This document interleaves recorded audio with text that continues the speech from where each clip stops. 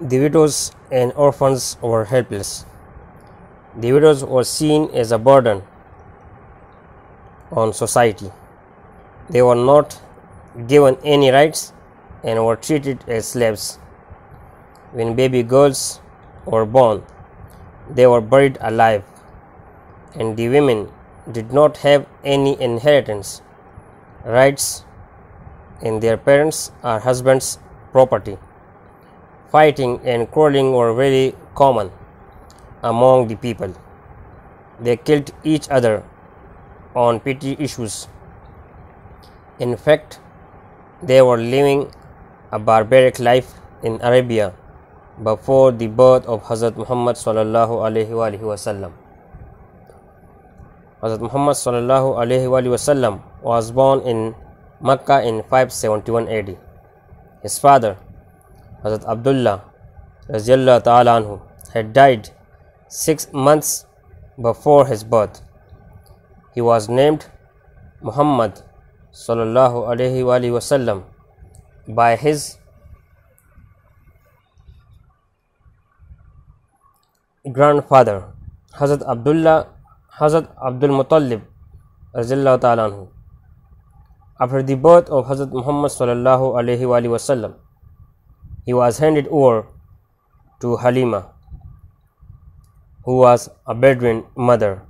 At that time, there was a tradition that infants were handed over to the Bedouin mothers who used to raise them in the desert and bring them back to their parents after a few years.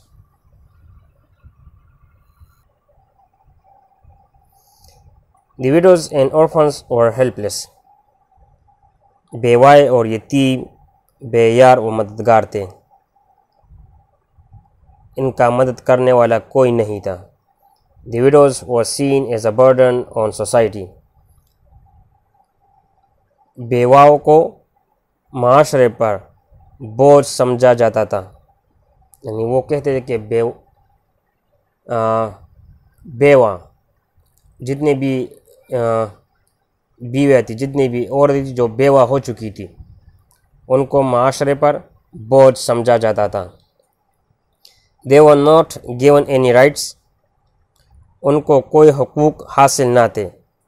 And were treated as slaves और इनसे ग़ुलामों जैसा सलूक किया जाता था। When baby girls were born और जब लड़कियाँ पैदा हो जाती।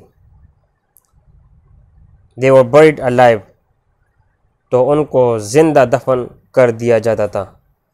And the women did not have any inheritance rights in their parents और हस्बैंड्स प्रॉपर्टी और औरतों को वालदेन या शोहरों की जायदाद से कोई हिस्सा नहीं मिलता था। फाइटिंग एंड क्रोलिंग और very common among the people लोगों में लड़ाई झगड़े आम थे। They killed each other on petty issues वो बिला वजह एक दूसरे को कत्ल कर देते थे। In fact they were living barbaric life in Arabia before the birth of Hazrat Muhammad सल्लल्लाहु अलैहि वसल्लम और हकीकत में वो हज़रत मोहम्मद सल्लल्लाहु अलैहि वसल्लम की पैदाइश से पहले जानवर जैसी ज़िंदगी गुजार रहे थे हज़रत मोहम्मद सल्लल्लाहु अलैहि वसल्लम was born in Mecca in 571 AD. Hazrat Mohammad सल्लल्लाहु अलैहि वसल्लम पाँच सौ इकहत्तर ईस्वी में मक्का में पैदा हुए His father, हज़रत अब्दुल्ला रज़ल्ला तु had died six months before his birth. आप सल्लल्लाहु अलैहि के वालिद हज़रत अब्दुल्ला रज़ल्ला तु आप सल्लल्लाहु की पैदाइश से छः माह पहले वफ़ात पा चुके थे। He was named Muhammad by his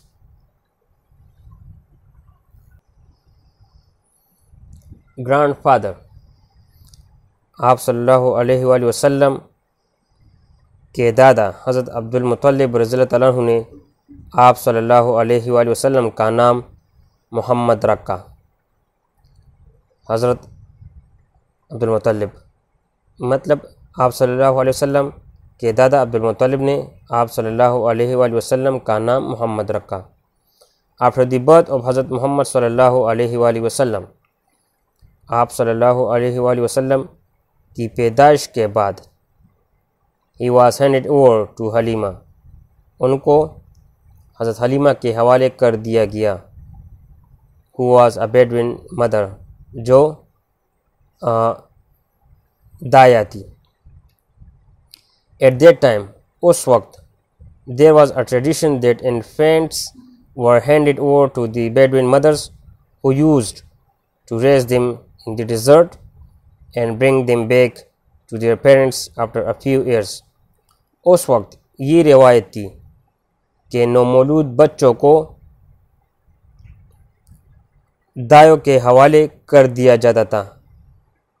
who used to raise them in desert in the desert जो सहरा में लेकर इनकी परवरिश करते थे and bring them back to their parents after a few years और चंद सालों के बाद उन्हें उनके वालदेन के पास वापस लाते थे।